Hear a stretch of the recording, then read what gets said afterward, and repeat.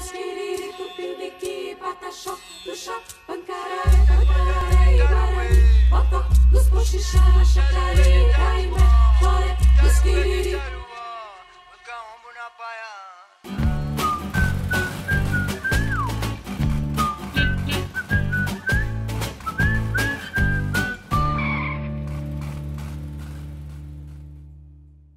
De onde que vocês tiveram a ideia de fazer aquela maquininha que detecta pessoas soterradas?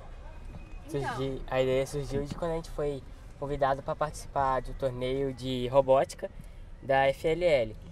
Esse torneio eles dão, lançam temas a cada ano e do ano passado foi Fúria da Natureza. Então a gente tinha que escolher uma fúria da natureza para estar criando uma solução inovadora. Como Minas é, tem muito deslizamento, tem que escolher o deslizamento de terra. Linda funciona? A Linda ela iria chegar no local onde houve o deslizamento, iria aproximar o sensor da Terra, medir a temperatura numa circunferência de 2,5 metros, e meio, a profundidade de 2 metros, para ver se é uma vítima. Aí ela ia medir a temperatura entre 20 e 40 graus, que é a temperatura normal que uma vítima, quando está soterrada, fica. Aí se houver uma vítima, ela iria voltar o sensor e enviar uma mensagem ao corpo de bombeiro ficar toda paralisada. Se não houvesse uma vítima, ela ia continuar é, procurando até salvar todas as vítimas. A gente espera mesmo é que alguém possa patentear nossa escavadeira para ajudar a salvar o máximo de vidas possível. Pessoas que estão nos assistindo patentear a escavadeira dos meninos. Por favor, Antigamente, né, que é o mais favor. difícil, agora fazer é mais fácil. Aí, beijo, parabéns, tá? Muito obrigada pelo convite. Tira essa catraca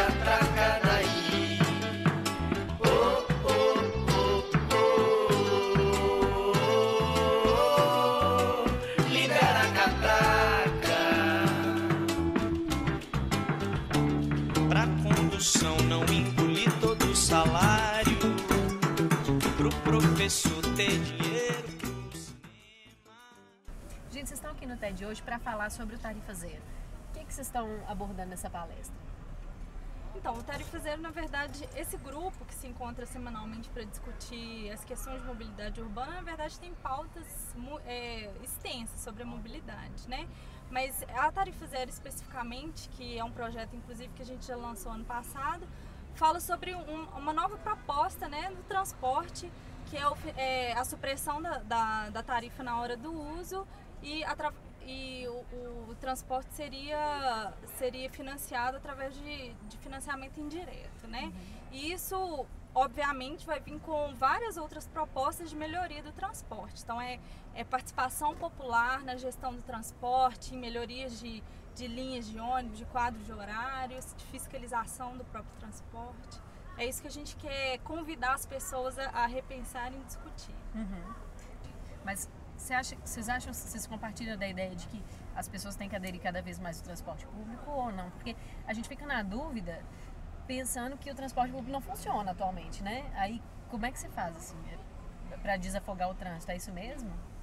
Que na verdade, assim, é, do jeito que o transporte coletivo ho- ho- hoje funciona na, na cidade e a nível do, de Brasil, ele realmente não é convidativo para as pessoas, porque ele é ineficiente, ele é caro, ele é desconfortável. Mas a lógica para um bom funcionamento da cidade é a gente utilizar cada vez mais o transporte coletivo, o transporte público. Isso a gente vê em capitais onde o transporte é de qualidade, o transporte público é de qualidade, ele convida as pessoas. E tem, e tem detalhes que dizem respeito diretamente à tarifa, sabe? O transporte público hoje, para ele ser é, equilibrado financeiramente, ele tem que andar sempre lotado. E é isso que afasta as pessoas do ônibus, né? Se você anda de ônibus lotado todo dia depois do trabalho, você vai na viagem inteira, uma coisa que a gente vai abordar na palestra. Você E vai a você viagem inteira pega, sonhando né? em ter carro, Às vezes né? você nem pega exatamente. É. O TED, com, esse, com, esse, com essa premissa né, do engaje, se chamaram várias pessoas de vários setores. Então, pra gente perceber que, assim, onde que a gente se identifica, vamos nos engajar através disso, né? E pode ser que muita gente que vai assistir a gente aí está se identificando com a tarifa zero, porque faz parte da vida da gente, né? Se transportar e todos os dias ficar estressado no trânsito, todos os dias ficar agarrado. E o que, poder, o que a gente pode fazer por isso, né? É isso. Parabéns pra vocês e obrigada por participar. Obrigada. Obrigada, gente.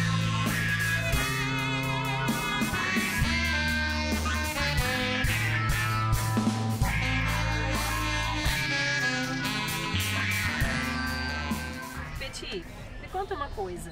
É, o Eletrofone era um grupo que já, já existia e de repente você entrou. Como é que foi isso? Sim, eh, eletrofone já existia, porém eh, de, um- de uma forma mais, eh, digamos assim, investigativa, mais suave. Aí eu, eu estava morando em Diamantina e eu conhe, conhecia um dos integrantes, que é Henrique, que estava também na banda aí com Nili. E aí então o, o, o pessoal foi me procurar em Diamantina, fizemos uns ensaios e aí então eh, integramos. Né? Eh, e aí em, surgiu uma onda nova, porque de acordo com, com o que eles me falaram, estava faltando exatamente essa parte eh, visual. E então foi uma integração ótima com ele. Eu estava assistindo a apresentação de vocês agora ali no TED. Como é que funciona aquilo? Você vai colocando uns líquidos ali. O que, que é aquilo? São, eh, eh, principalmente são eh, corantes que eh, diluem, alguns diluem com água, outros diluem com, com álcool. E misturando produtos químicos para saber as reações que, que pode ter. Né? E eu já vinha investigando faz um tempo atrás, eh, mas com projetor de slides. Mas o que que aquela apresentação ali que vai no telão dos, dos líquidos que você vai manuseando ali, o que que isso diz para os músicos? Como é que isso influencia a música que eles É, estão é, fazendo? é, esse é o, o ponto crucial da, da integração. Porque, eh, primeiro, eu não posso seguir exatamente a música porque eh, eh, estou, tenho que estar tão atento ao produto químico que tenho que colocar para que seja visualmente agradável. E, por outro lado, também os músicos, eh, eh, por essa eh, parte minha, que é mais ou menos improvisada, eles também têm que improvisar. Então, é, uma, uma espécie de integração que só isso se faz só com, com prática e ensaio, que mais ou menos tem uma localização assim de... né, de... Você é argentino, né? Sou argentino, mas não muito. Pero sí, pero, no- pero que sí, pero que no, pero no mucho. Eh, não, porque te, te falo que hum, faz 35 anos que tô, tô, tô por aí fora, rodando Você tá o morando mundo. aonde agora? Não, agora estou morando aqui em Belo Horizonte, porque estava em Diamantina. Sim. E por que, que você decidiu vir pra cá? Porque aqui me comunico mais com as pessoas, estou mais em contato, estou em contato com, em contato com mais com o eletrofone, com meu filho, moro com meu filho.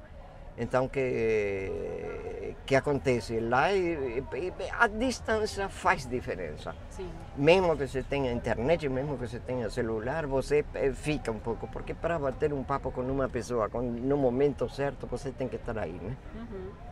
Legal. Muito obrigada, Petit. Desculpa te incomodar logo Não, depois da sua apresentação.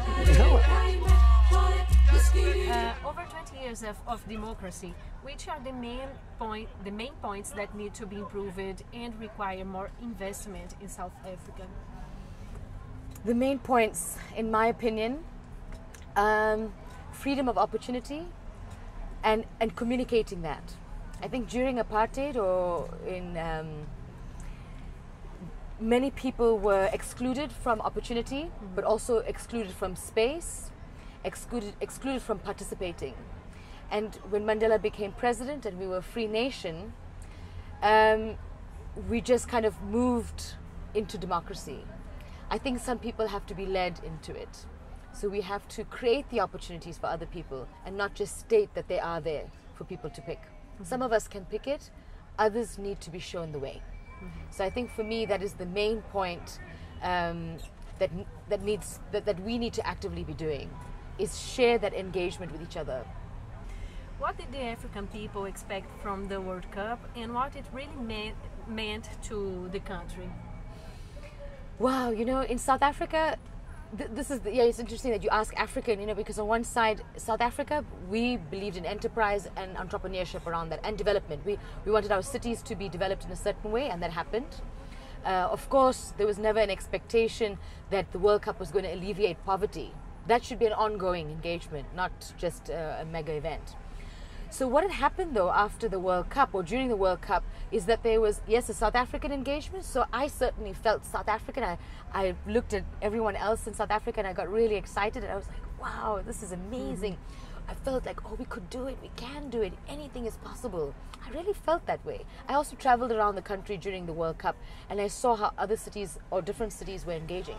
But further to that, to this day, other African citizens of other African countries, whenever I say I'm South African, they'll say, Thank you for the World Cup. We all the Africans feel great. Yes, Ghana didn't make it because I think let's be honest, Bafana Bafana was never going to make it. Mm-hmm. But there was hope with Ghana and everyone rallied behind them. And so it wasn't just a South African engagement, it was certainly an African engagement. And people are proud of that. Mm-hmm. And the world saw Africa with another eyes. Yes. What do you expect to be the repercussions in Brazil of the World Cup?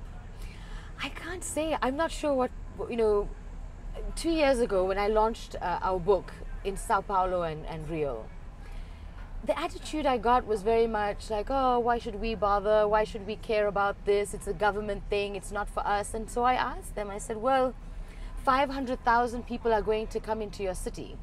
Are you going to tell them, nah, it's not for me, this FIFA and um, our government, it's full of corruption? Are you going to say to a football fan, it's corruption? Or are you going to welcome them into your city, feed them, to have a good party, show them your culture? What are you going to do? Is it about you or is it about FIFA? It's your decision. Really, it is your decision. And yes, there's corruption, but I don't believe it's only around the uh, FIFA World Cup. What I believe and what I hear from my colleagues in Brazil, corruption and bureaucracy are rife in Brazil. That needs to be tackled on an ongoing basis.